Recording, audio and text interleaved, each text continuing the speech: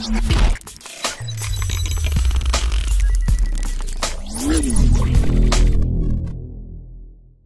xin chào tất cả em. Hôm nay tôi sẽ hướng dẫn anh em sử dụng cái con dây rát B30 này ở trên cái hệ điều hành iOS nhé. Thì hiện tại cái con này nó đang sử dụng được cái phiên bản là iOS 13.4 đổ xuống nha. Còn những cái dòng mà máy chạy iOS 13.4 đổ lên thì là hiện tại là chưa sử dụng được đâu nhé. Anh em có thể liên hệ với bên mình và gửi thông số máy của anh em. Thì nếu mà máy của anh em hạ được thì có thể gửi về bên mình để mình hạ cái iOS về cho nhé. Còn nếu mà máy của anh em không hạ được thì thôi nhá. Thì anh em sẽ phải đợi thêm để nó uh, để cho các hãng họ làm thêm về cái những cái phụ kiện trên game bàn phím chuột nhé. Rồi thì anh em có thể thấy đây, con này nó có tổng cộng là bốn cổng anh em nhé. Cổng này là cổng ờ, USB Type C để cắm nguồn này. Hai cổng này là cổng USB này, một cổng ở trên là để cắm ờ, vào iPad nhé. Còn cổng này thì là để cắm chuột bàn phím này. Cổng bên này cũng để cắm chuột bàn phím nhá. Và cái con này nó có hỗ trợ cả Bluetooth và cả kết nối có dây nhé. Thì ở đây thì mình sẽ ờ, hướng dẫn cho anh em. Đầu tiên, anh em sẽ mở cho mình App Store lên. Anh em sẽ vào cho mình cái phần tìm kiếm này và anh em kích vào đây. Anh em search cho mình G E K. Đó, G E K, G A M E R game gamer game game ấy, game game ấy. Đấy anh em có thể nhìn trên màn hình nhá và nó sẽ ứng dụng này này em kích vào đây.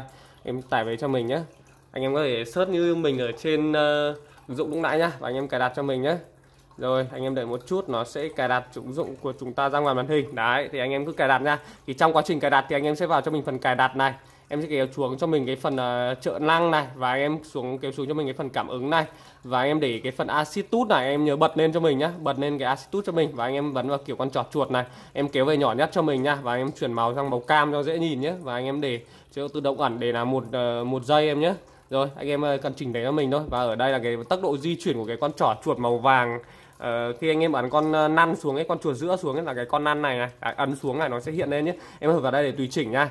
Rồi Vâng, và đây đã tải xong ứng dụng này em mở đến cho mình nhé. Đó, anh em đợi một chút nhá, để cho nó kết nối.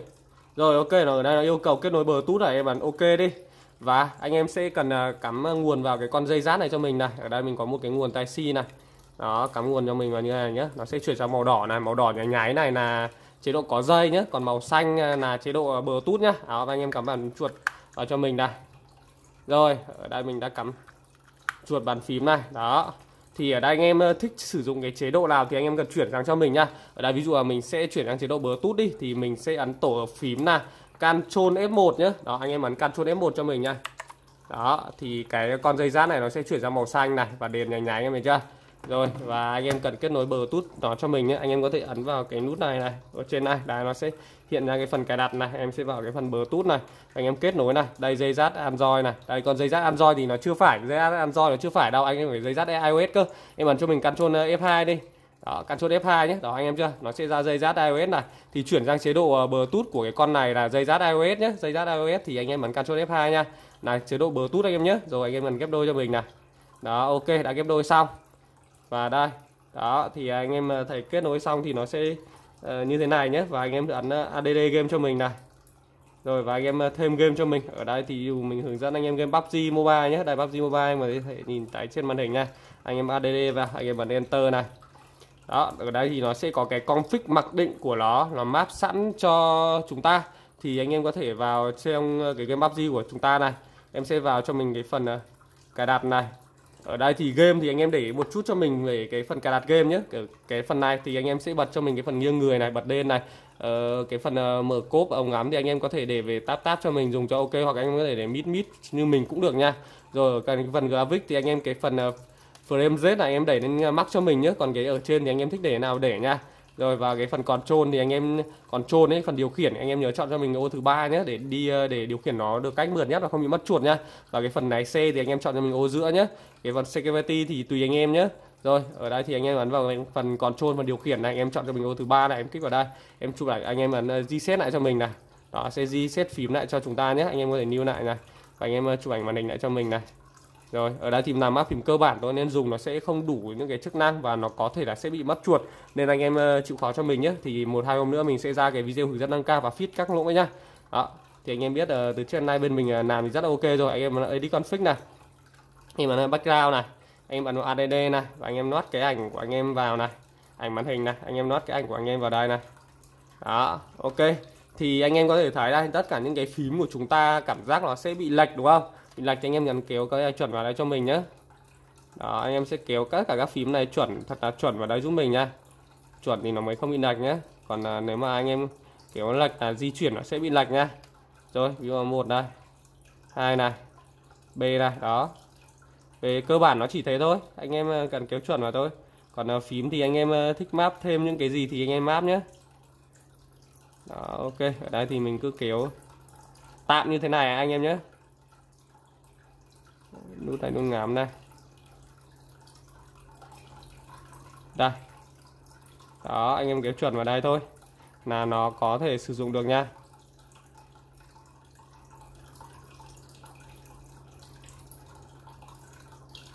Đó. Nó cũng khá đơn giản đúng không? Map phím thì nó cũng khá đơn giản thôi. Thì cái map phím này nó dành cho phím full size em ạ. Anh em có thể tùy chỉnh thêm nhé. Đó thì uh, nó dành cho những cái phím full size còn uh, những cái phím khác anh có thể tùy chỉnh thêm ở đây anh em có thể điều chỉnh tốc độ chuột này tốc độ chuột anh em có thể cái ở đây là có cái con uh, cái này này để điều chỉnh tốc độ chuột này em ơi kích vào đây để điều khiển tốc độ chuột nhé. Ở đây là mouse mouse service này là 6 đây anh em ơi đẩy lên à, này 8 này 10 này. Đấy ở đây mình để quên là 10 đi. Và anh em là nhấn vào mid mouse nhé mid mouse để có thể hiện con trỏ chuột nha. Rồi như vậy là xong nhé. Anh em ấn vào đây anh em ấn uh, save này. Rồi ok anh em ấn apply config này rồi ok và bây giờ anh em có thể vào game nhé. Vào game và vào vòng tập test cho mình nha. Đó thì nó cũng rất đơn giản thôi. Đây là đang là chế độ um, bluetooth anh em nhé. Tí mình sẽ hướng dẫn em chỉ đang chế độ cắm dây nha. Đó, cắm dây cho iOS thì nó cũng rất đơn giản nó Android thì nó cũng dùng map thì nó cũng gần như giống nhau. Đó, anh em thấy nhá di chuyển các thứ ok rồi nhé đó ở đây thì đây để ship chạy nhanh này em thấy chưa? Đó để ship chạy nhanh này. Thì anh em có thể tùy chỉnh thêm ở trong cái phần cài đặt và hôm nào mình sẽ nghiên cứu các thứ riêng và làm map phím ờ, nâng cao riêng cho nó nhé. Ở đây hiện tại vẫn là đang là cái bạt ở đây thì ẩn nó cứ chạy mãi thì mình sẽ kéo cái này nó cao lên nhất để nó không bị ăn vào nha. Rồi ok. Đó, anh em thấy đi. Khá ok đấy. À đây mình bấm đạch anh ạ mình bấm đạch. Đây mình đến map chuột phải kéo vào đây. Anh em có thể vào trong cái config anh em chỉnh lại nhé. Mình à, mắc cái phím chuột phải mình ăn vào cái nút bắn anh em ạ. Mình, mình chỉnh lại em nhé. Để đi config này đây, cái phím chuột phải đây, nó phải ở đây mới đúng này. Đó. Đây, như này mới chuột anh em nhé. Là mình để binh đi, chẳng hạn, đúng không? Rồi. Nhiều lại nhé còn fix này. Rồi, ok. Đó, anh em thấy chưa? Bắt đơn giản, đúng không? Anh em mình kéo chuẩn nó vào rồi là được thôi. Đây là cái mắt phím mặc định của hãng thì mình ờ, không đánh giá cao về cái mắt phím mặc định này lắm anh bạn mình không đánh giá cao lắm, cảm giác dùng nó vẫn có cảm giác bị hay mất chuột với cả những cái chức năng cơ bản nó không được ngon lắm thì mình đã fit gần như là ok hết tất cả những cái ờ, lỗi linh tinh mà nó hay gặp phải rồi. Thì mình đang làm ờ, video hướng dẫn nâng cao cho anh em rồi nhé thì anh em đợi thêm ra thì nâng cao mà nên là nó sẽ mất nhiều thời gian hơn so với bình thường em nhé nên là anh em sẽ vui lòng đợi thêm giúp mình nha đó, anh em thấy thì tất cả mọi thứ đều ok nhé không có một chút vấn đề nha đó, bình này. Maxi location nhé còn ờ, cơ bản thì mắc phím của nó chỉ đơn giản thế thôi à, ở đây mình sẽ hướng anh em chuyển sang chế độ có dây nhé. Có dây thì anh em cắm cái dây lightning vào cho mình nha. Đây ở đây mình đang có dây lightning này thì anh em cắm vào cái đầu ờ, có lỗ hai lỗ USB ở bên uh, tay phải này. Đây cầm nó hơi khó đây. Anh cắm vào lỗ trên này cho mình nhé. Nhớ nhé cắm vào lỗ trên nhá lỗ dưới nó sẽ không nhận đâu. Và em nhớ phải quay đút home sang bên phải và camera trước sang bên trái nhé. Em có thể ấn chuột giữa lên này. Đó ấn chuột giữa lên con trỏ chuột để điều khiển này. Ấn con chuột giữa để tắt này. Mình sẽ cắm vào đây nhé rồi ok đã cắm vào đây rồi. Và mình sẽ để cái dây rát đây trên đây cho anh em dễ nhìn này. Đó, để cái dây rát đây. Và mình sẽ chuyển chế độ anh em nhé. Mình sẽ chuyển sang chế độ nha. Ở đây bây giờ ấn căn căn F3 nhé. À, căn F3 không được và căn F4 này. Căn này F4 này. Nó sẽ chuyển sang chế độ màu đỏ. Này là chế độ có dây này em nhé. Mình sẽ thử tắt Bluetooth tút xem. Mình sẽ thử vào cái phần Bluetooth tút mình à, tắt nó đi nó xem nhé. Đây USB này dây rát USB này là căn F4 nha. Đó anh em có thể nhìn ở trên màn hình nhé. Cái yêu cầu hủy đi đấy, thì anh có thể nhìn thấy trên màn hình nhá. Ở đây mình sẽ tắt bờ tút đi này, xem nó có nhận được không nhé đây, dây rát này. Control F4 này chuyển sang chế độ có dây em nhé Control F2 ờ, để chuyển sang chế độ Bluetooth trên iOS nhá. Và trên Android là Control F1 này em nhé rồi, anh em có thể nhìn ra đấy, vẫn di chuyển một cách bình thường anh em nhé không có một chút vấn đề nha đó, thì ở đây thì phím các thứ nó vẫn chưa, mình thấy nó vẫn chưa thành nhận được này anh em sẽ cần phải vào new lại phím một phát nữa cho mình nhé anh em sẽ vào new lại phím một phát nữa cho mình. Phím bên đây nó nhận, nó vẫn chưa chuẩn anh em. Anh em ờ, cần này à nó sẽ yêu cầu chúng ta kết nối bluetooth với cái này để chúng ta lưu phím. Khi lưu phím xong thì chúng ta sẽ có thể tắt được em nhé. Rồi, ok.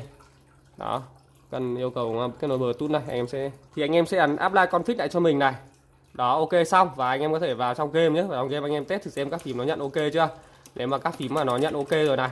Đó, thì anh em có thể ra tắt bờ tút đi nhá tắt bờ tút đi cho mình để có thể sử dụng cắm dây nhé. Rồi, ok, là mình đã tắt bờ tút này.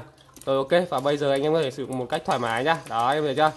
Thì anh em ờ, bật bluetooth tút lên để anh em có thể điêu phím của nó nhé và anh em có thể tắt bluetooth tút lên để uh, game nó bị lỗi này em. Game nó bị lỗi này nó cứ hiện cái này này và không di chuyển anh em nhé.